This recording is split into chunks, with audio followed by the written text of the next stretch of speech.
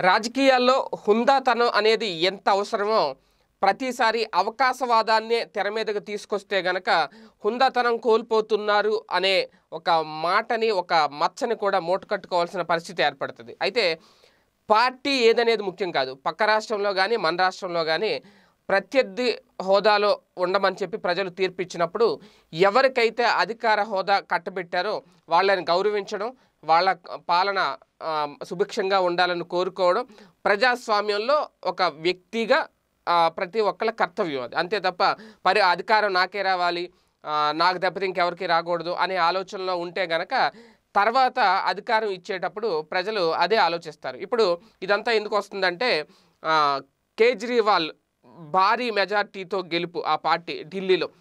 ఒక్కొక్క నియోజకవర్గంలో చూసుకుంటే కనుక ఆ ఎమ్మెల్యే అభ్యర్థికి భారీ భారీ నియోజక మెజార్టీతో గెలుపొందారు. అది నిజంగా భారతీయ జనతా పార్టీకి ఊహించని షాకే. ఇంకా నా ఇప్పట్లో ఢిల్లీలో భారతీయ జనతా పార్టీ పాగా వేయడం కష్టం అనేంతగా ఆ రిజల్ట్స్ కనిపించాయి.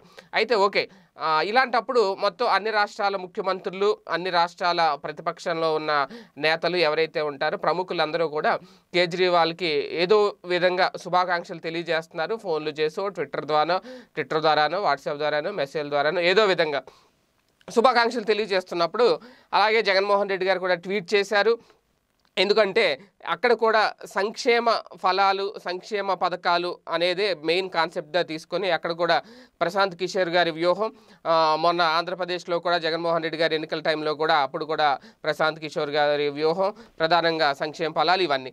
సో ఈ నేపథ్యంలో అందరూ విశేష చేస్తుంటే ఒక్క చంద్రబాబు నాయుడు గారు మాత్రం మౌనంగా ఉండడం కిమ్ అనకుండా ఉండడం ఏం మాట్లాడకపోవడం. అంటే ఇక్కడ రెండు కోణాలు. అవకాశవాదమా లేదంటే హుందాతనం కోల్పోయారా అనేది రెండు ప్రశ్నలు వినిపిస్తున్నాయి. ఎందుకు అవకాశవాదం అంటే ఒకప్పుడు భారతీయ జనతా పార్టీతో కలిసి ఉన్నప్పుడు అదే టైంలో ఇంతకుముందు ఢిల్లీ వెళ్ళినప్పుడు అధికారంలో ఉన్నప్పుడు ఏదో టైంలో కేజ్రీవాల్ గారితో కలవడం మాట్లాడడం సఖ్యతగానే ఉండారు. అయితే ఇప్పుడై ఎప్పుడైతే భారతీయ జనతా పార్టీకి తెలుగుదేశం పార్టీ దూరం అయిందో ఒకవేళ బీజేపీకి చేరువయ్యేందుకు టీడీపీ ప్రయత్నాలు చేస్తున్నా భారతీయ జనతా పార్టీ మాత్రం దగ్గరికి దగ్గరకు రానివ్వకపోవడం ఏదైతే ఉందో ఆ, నేపథ్యంలో ఏదో విధంగా బీజేపీతో చేతులు కలపాలనే ఉద్దేశంతో తెలుగుదేశం పార్టీ ఉంది. కానీ భారతీయ జనతా పార్టీ దగ్గరికి రానివ్వట్లేదు.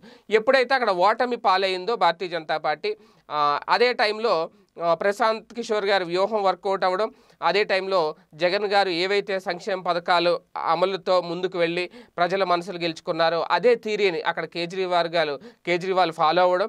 ఇప్పటికే జగన్ ఫాలో అయిన కేజ్రీవాల్ అందుకే గెలుపు అని చెప్పి ఆల్రెడీ సోషల్ మీడియాలో వార్తలు వైరల్ అవ్వడం.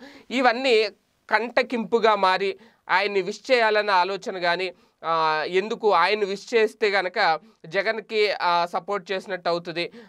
అప్పట్లో మేము తప్పు చేసినట్టు అవుతుంది. సంక్షేమ పథకాలకు పెద్దవిపేట వేసిన వాళ్ళకే ప్రజలు పట్టం కడతారు. మేము వేయలేదు కాబట్టే ప్రజలు మాకు పట్టం కట్టలేదని ఇండైరెక్ట్గా ఒప్పుకున్నట్టు అవుతుంది. ఇలాగ రకరకాల ఆలోచనలు ఉన్నాయో ఏమో తెలియదు కానీ అందుకే మౌనంగా ఉన్నారు. కానీ ఇది కరెక్ట్ కాదు. ఇది హుందాతనం కాదు. హుందాగా వ్యవహరించాలి రాజకీయాల్లో. హుందాగా వ్యవహరించి గెలుపొందిన అభ్యర్థికి విష్ చేయాలి? అలా కిమ్ అనడం కరెక్ట్ కాదు అనేది ఇప్పుడు సోషల్ మీడియాలో ప్రధానంగా మొదలైన కొన్ని ట్రోల్స్. మరి ఇది హుందాతనమా? లేదంటే అవకాశవాదమా? ఎందుకు మౌనంగా ఉన్నారనేది ఆ పార్టీ నేతలే డిసైడ్ చేసుకోవాలి. ఈ వీడియో గనక మీకు నచ్చినట్లయితే లైక్ చేయండి షేర్ చేయండి. మరిన్ని వీడియోస్ కోసం మా ఛానల్ను సబ్స్క్రైబ్ చేయండి.